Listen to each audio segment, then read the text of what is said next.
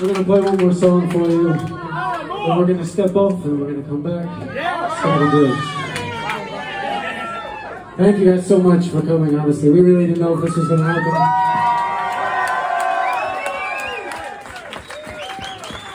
It's unbelievable.